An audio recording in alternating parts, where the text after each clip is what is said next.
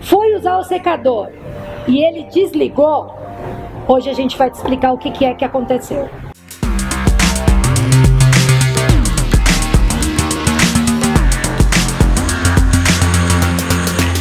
Esse é o canal Em Manutenção. Eu sou a Thalita e eu tô com quem?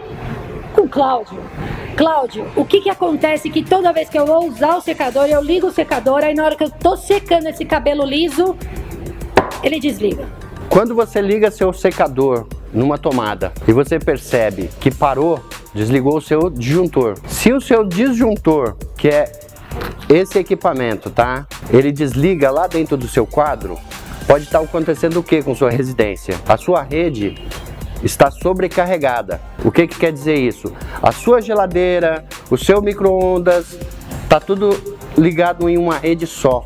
E essa rede tem que ser distribuída. Se acontece isso e você liga o seu secador que tem que é um, um aparelho com bastante watts, tá? 500, 1000 watts, você pode estar tá sobrecarregando o seu disjuntor. Não é meu cabelo que é ruim. Isso, com certeza não, tá? Entendi. Então vai acabar desligando o seu disjuntor, porque essa rede não foi dimensionada para esse tipo de coisa, ligado tudo ao mesmo tempo. O que você pode fazer é, de repente, trocar de tomada.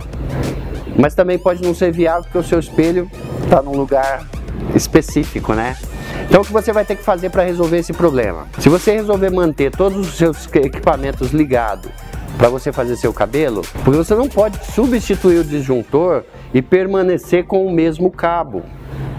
Porque você não pode alterar a especificação dele para maior se o seu cabo não vai suportar. Você vai estar correndo risco de, dessa instalação toda poder até pegar fogo, ok? Então assim, chame um profissional, substitua todos os cabos daquela rede, dimensiona um disjuntor um pouco maior e você vai estar com o problema resolvido.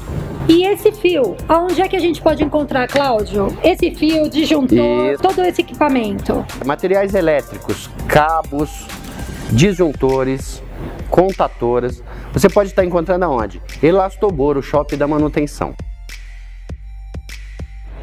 Esse é o canal Em Manutenção. Se você gostou, se inscreve no nosso canal, ativa o sininho ou mande suas dúvidas para a gente gravar o vídeo. Segura o tchan, amarra o tchan, segura o tchan, tchan, tchan, tchan, tchan.